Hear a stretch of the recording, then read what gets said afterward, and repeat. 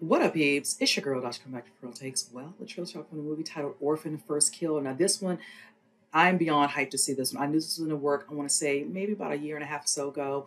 I knew that we would be getting to see uh, the character Esther revisited, played by Isabelle Fuhrman. She did a fabulous job in the first one, titled Orphan, came out 2009. Starred her, Vera Farmiga, and Peter Sarsgaard. I hope I'm saying his last name correctly. My apologies.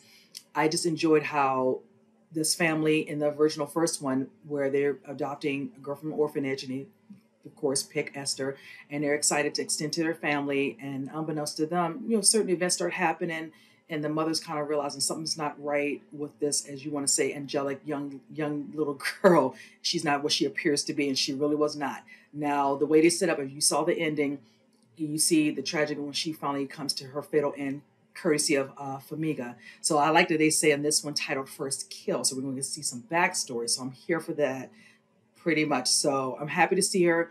I will say, it's her overall look, she probably still has a very young looking face. So I want to see just kind of how they did her in regards to that. So, you know what? Enough rambling. Let's go ahead and jump into it. Say the rest of my thoughts and then, you guys. What is he doing here? We found your daughter. She's alive. Be prepared for changes. We have a child therapist that she'll be working with. Four years is a long time. What she needs right now is her family. Esther? Sweetheart, it's mommy. Mm. Welcome home, Esther. We left it just as it was. It's lovely to be back. I miss my family very much. Our goal here is helping Esther acclimate back into life within the family unit. Mm. Sorry. I think something's going on with Esther.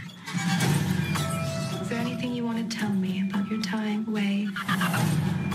How's that possible? Four years ago, she was still drawing stick figures. Esther's behavior has been so erratic.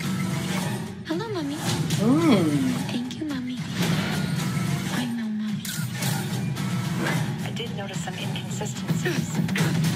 What are you getting at? To me, it felt like a performance. Mm. If you're not Esther, who are you?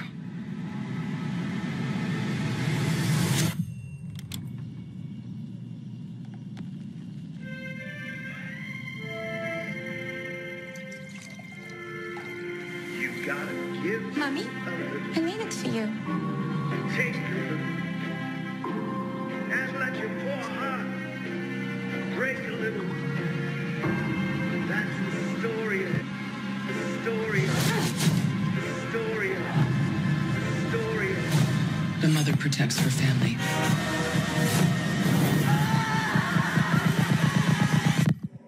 No matter what. That's the story of it. That's mm.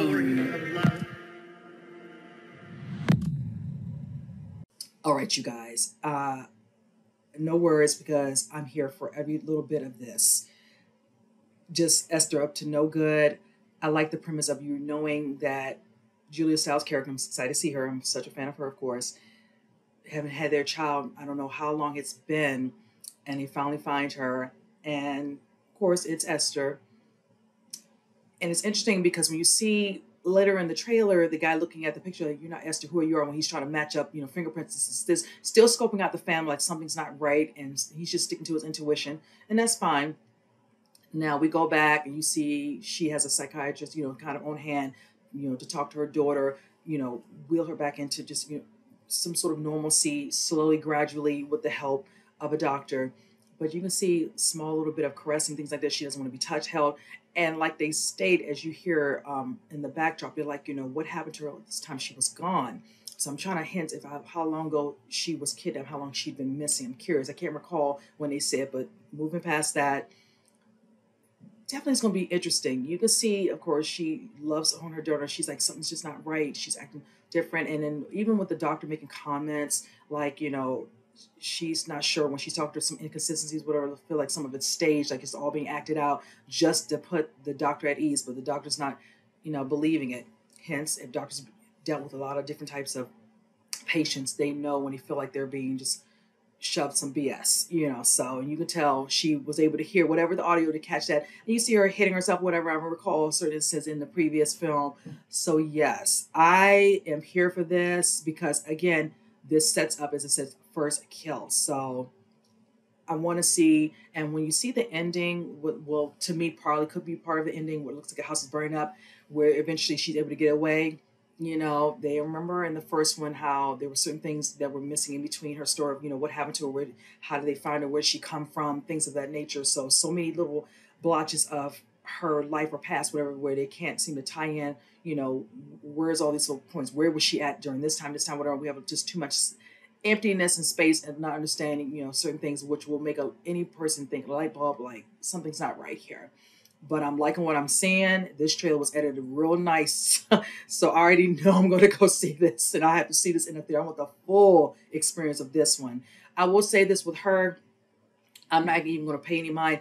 When you look at her, she definitely looks the same, of course, fits the look, but you can see she's gotten a little bit taller. So it's kind of obvious, a little bit innocent, but I don't care.